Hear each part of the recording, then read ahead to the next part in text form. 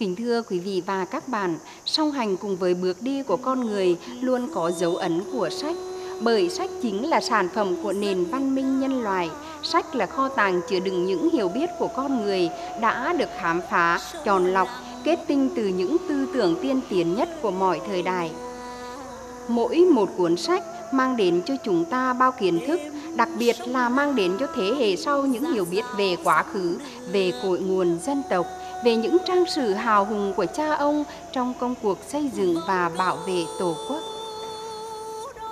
Đến với hội thi cuốn sách Tôi yêu năm 2021 của Bộ Văn hóa Thể thao và Du lịch Vụ Thư viện tổ chức trên kênh Sách và Trí Tuệ Việt Tôi, Nguyễn Thị Thu Hiền đến từ Thư viện tỉnh Hà Tĩnh xin được trân trọng giới thiệu cùng quý độc giả cuốn sách có tựa đề Hồ Chí Minh, biểu tượng của thời đại. Tác giả Đỗ Hoàng Linh, sách dài 399 trang, khổ 16 x 24 cm. Ấn hành năm 2019, nhà xuất bản Thông tin và Truyền thông.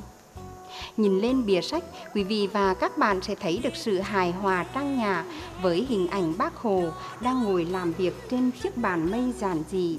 Có những bông hoa sen được in chìm bao phủ xung quanh, toát lên một vẻ đẹp đơn sơ mộc mạc như chính con người của bác. Nội dung bên trong của cuốn sách gồm có hai phần. Phần 1, Người anh hùng giải phóng dân tộc. Phần 2, Danh nhân văn hóa của thời đại. Bây giờ mời quý vị và các bạn hãy cùng tôi đến với phần 1 của cuốn sách Người anh hùng giải phóng dân tộc. Thưa quý độc giả, năm 1858, thực dân Pháp nổ phát súng đầu tiên đánh chiếm bán đảo Sơn Trà, Đà Nẵng. Mở đầu cuộc chiến tranh xâm lược Việt Nam, triều đình nhà Nguyễn nhu nhược đầu hàng, nước ta trở thành một nước thuộc địa nửa phong kiến. Đời sống dân ta vô cùng khổ cực, đói, rét và tiếng khóc than của những thân phận người dân mất nước được lan khắp các vùng quê nghèo đất Việt. Dù triều đình nhà Nguyễn bạc nhược đầu hàng, nhưng nhân dân ta không chịu khuất phục.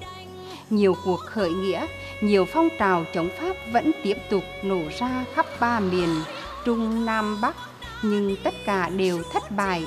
Đến mãi sau này, Chủ tịch Hồ Chí Minh mới tìm ra con đường giải phóng dân tộc.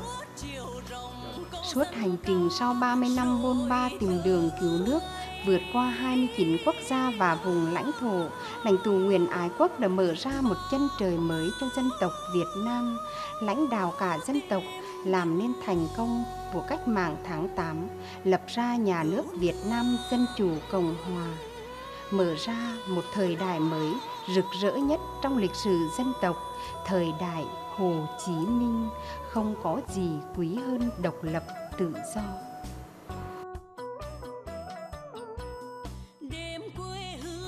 Kính thưa quý vị và các bạn, để góp phần làm sáng tỏ sự nghiệp cách mạng, sự nghiệp chính trị phi thường, đồng thời cũng là sự nghiệp văn hóa cao cả của Chủ tịch Hồ Chí Minh, xin mời quý vị và các bạn hãy cùng tôi đến với phần 2, danh nhân văn hóa của thời đại.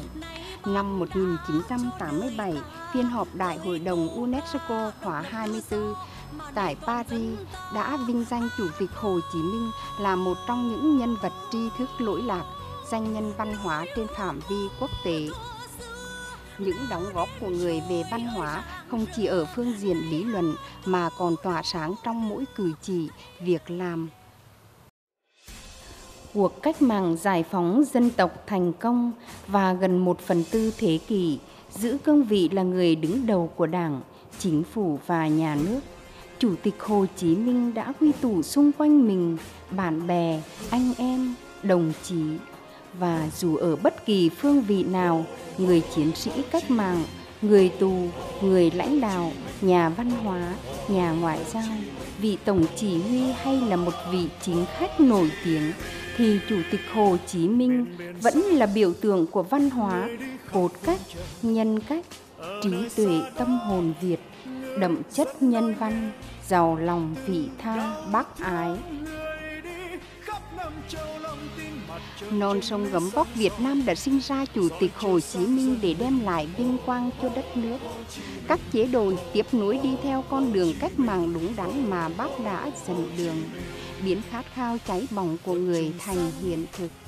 79 mùa xuân, bác đã dành trọn đời mình vì dân, vì nước. Không có người, lịch sử có thể đi theo con đường khác nhưng lịch sử đã đặt người vào đúng chỗ của mình. Trong quá trình hoạt động không mệt mỏi, người là nhân vật sáng tạo, quyết định.